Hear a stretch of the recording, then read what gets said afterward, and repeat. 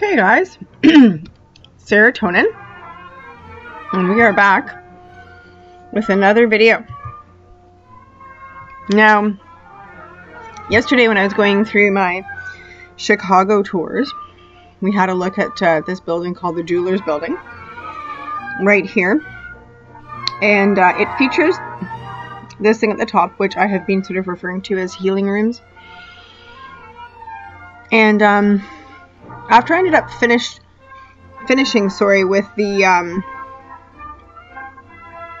the video yesterday, I I really got very taken by this building and this thing at top, which is apparently called a cupola. Cupola. So this is a 35 East Wacker, um, also known as the Jewelers Building, but apparently not to be confused with the Jewelers Building. Okay. It's apparently another building. So we're going to have a little bit of a look at both of these because there seems to be something going on with these two buildings. Anyway, we're going back to 35 East Wacker here. So one of the reasons I wanted to bring up this building was it involves a story that really, really caught my attention when I was doing the boat tour. And the story is that there's an elevator inside this building that is large enough to house a car, or more than one car. And people would drive into this building, specifically people related to Al Capone and his uh, business. And they would be, um, they would drive into this garage, this, sorry, this uh, elevator from Lower Wacker, and they would be whisked up apparently with jewels or I don't even know what other terrible things they might have on them and they would be whisked up to one of these floors up here. I imagine up here or up here. Um, and yeah, so here we go. This is this is the this is the stuff here. So, 35 East Wacker, also known as the Jewelers Building. I really don't want to make this a long video, so I'm going to try and do my best at keeping this short. So it was designed by Joachim Sori, G. Giaver, and Frederick P. Dinkelberg. Now, I am just I'm getting into these names. I think I talked about Thomas Fuller in uh, my video yesterday, who is Canadian architect, apparently from originally from Bath in England. And um, so, yeah, this Frederick P. Dinkelberg, I believe, is a similar person to Thomas Fuller. And what is very interesting here, so I decided to click on here, it was very, very interesting. So he, they always have these sort of questionable pasts. But look at this he worked for the Fuller Company. You click on the Fuller Company, the George A. Fuller Company. And apparently, this guy was an incredible skyscraper, uh, you know, builder architect as well. So, and you know it's really interesting? There's no mention of Thomas Fuller in here. Meet? Maybe, you know, how many Fullers that are completely unrelated to each other have basically built up entire cities across uh, from lakes from each other. And I'm sure if we dug deep, we would only find one little etching of George A. Fuller. Fuller something is what I believe. Anyway, there you go. So, 35 East Wacker. Okay. 14 years, building had a car lift that served the first 24, 23 floors and facilitated safe transfers for jewelry merchants currently the French American Chamber of Commerce. Ooh, commerce people. Mm. Very worrisome. Architect Helmut Jahn is atop the building inside the dome, which is on a restaurant called the Stratosphere Club. You can find a bit of information. We'll sh- see a bit up here. Erroneously said to be run by Al Capone. There you go. Says here in reality, the Stratosphere Club was opened in 1937, long after he was imprisoned, and too late for the building to have been an illegal speakeasy. And we all know that every head of every organization is merely a puppet, so that's a joke. The building is currently being renovated, with the facade being maintained. Now, I love this. The building is currently being renovated, with the facade being maintained. And just in that, we're going to have a little look at the word facade. Facade, the face of a building, especially the principal face. An artificial or deceptive front. ideological slogans that were a facade for geopolitical power struggles or the facade that somebody actually built that building whose name was Dinkelberg. So there you go. Now, oh, and then it's in all kinds of, you know, very interesting shows. There it is on the map. And we're going to talk about this clock in a bit. Okay, so let's keep going. So it has its own website. And one of the things, so I was trying to look for pictures. I was like, oh yeah, okay, you can lease. Yeah, policy and procedures. Yeah, services. Trash removal and recycling. Janitorial, HVAC, lots of different stuff. Telecommunications, services, security. After hours access was the first thing that came up. Building access deliveries, all kinds of interesting things, right? Amenities. Now, I thought this was very interesting. Now, I am not a technological person. I do have a smartphone, but I don't like any of that kind of stuff. It just it just creeps me out. Uh, so you've probably heard me mention the word creepy a lot. Um, yeah, I've become aware of, of you know the system.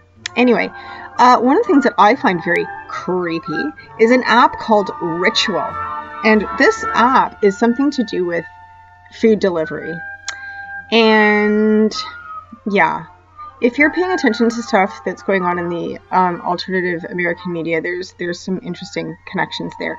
So, all I'm going to say is this building is talking about after hours access, trash removal and recycling, and one of the amenities that they have on here: conference center, fitness center, parking, and ritual.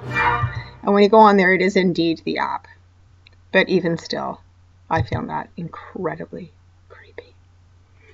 Moving on. Oh, that's our music. Okay. So here, the Stratosphere Lounge. I googled this, and here we are. I wanted to see the interior. So this is Helmut Jahn's interior, and uh, all I'm getting is this, you know, fisheye. Um, Strauss. You are just very exciting. So we're gonna turn you down. Uh, oh, it's a beaut. So, excuse me. So here we are, more interior shots. Um, and we're going to get into a lot of this stuff here. Okay. But you don't get a whole lot. Okay. Here's some more exterior, some close-ups. I mean, this is just so beautiful.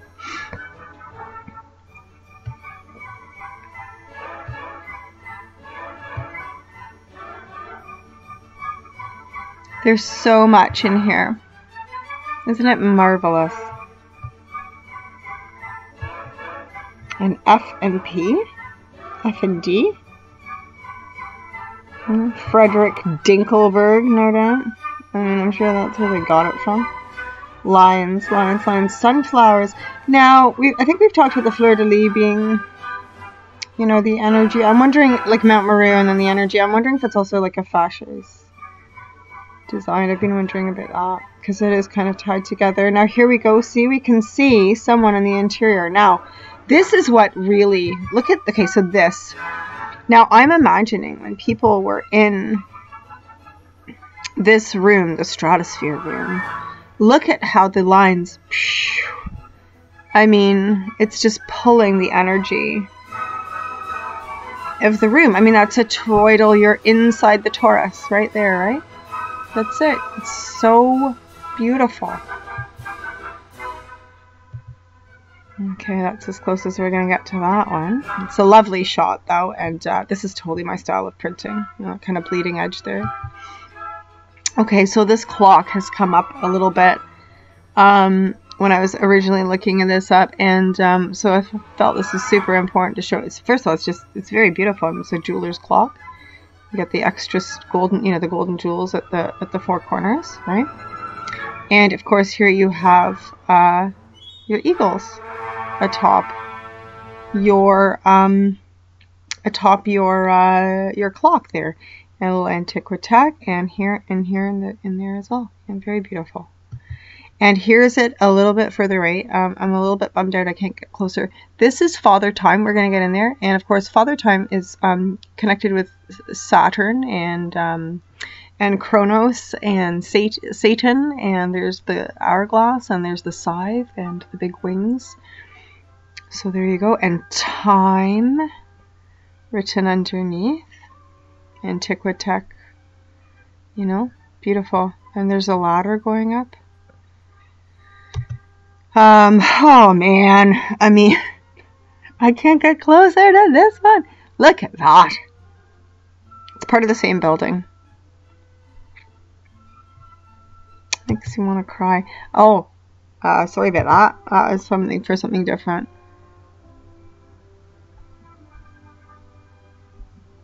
Beautiful. Um, okay, this is um, apparently one of the floors on the inside. It's not the cupola, but apparently in part of the interior. Okay. Continuing on. Now these, I love these. So these to me are like, again, some kind of like dome. This, this might be the real healing room. I'm not entirely sure.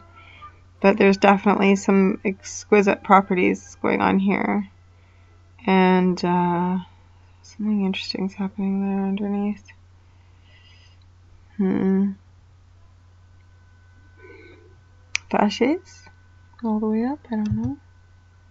Lovely. Uh, just love these shots. I just really wanted to share. So beautiful. Here's the clock again.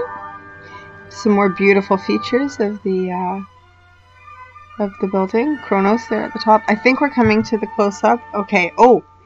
Okay, so these are these cupolas, and we're gonna get oh just the tiniest bit closer. Um, now some there's some movie with Jackie Chan. I keep coming across these set scenes with this thing apparently crashes to the ground in the movie. Um, oh, so beautiful. This looks like this was taken from a helicopter.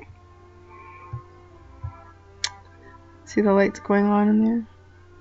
So this is this white room, and they call it a white terracotta tile. I don't even know terracotta came in white. But there's still, we're still not seeing up here, right? Because this is the toroidal room.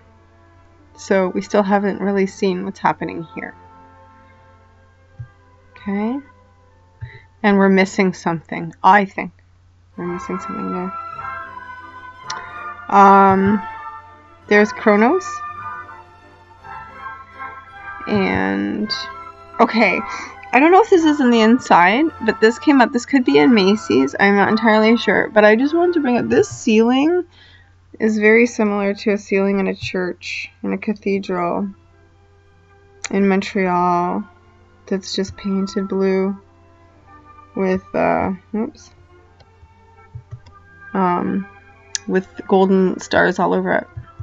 Okay, so, um, to get up to the Stratosphere Lounge, um, you're supposed to be be able to go up in a birdcage elevator, and this is what I believe is the birdcage elevator I searched for that and I found this image coming up twice.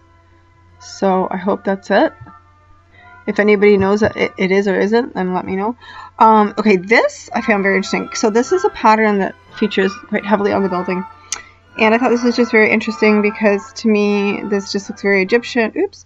Um, this looks very serpentine, right? Kind of like a flowing snake meeting another snake with either a Mount Meru or Cleopatra's Needle, something going on there in between. Very interesting.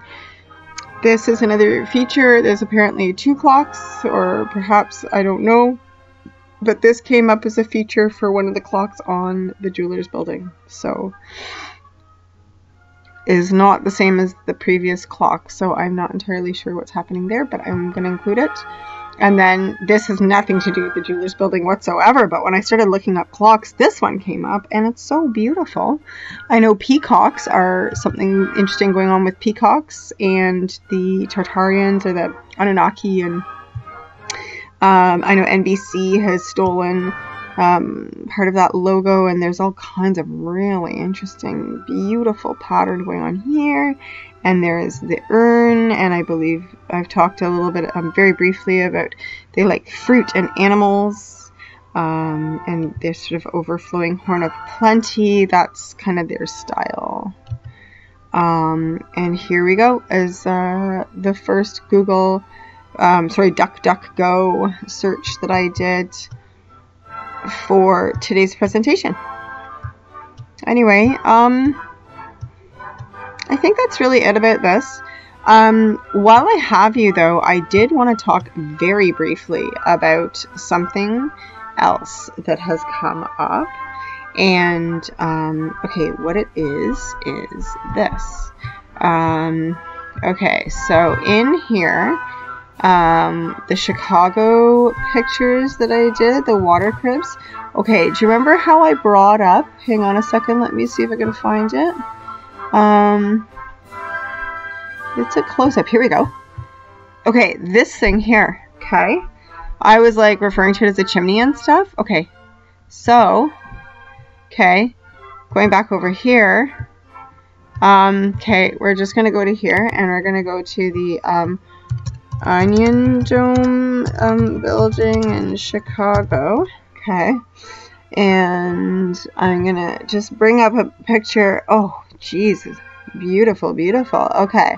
Um, I just, wow. Wow, wow, St. Petersburg. Okay, let me just see if I can find a better picture. Um, okay, we'll just start, we'll just go with this one because it's the first one that came up. Sorry, guys.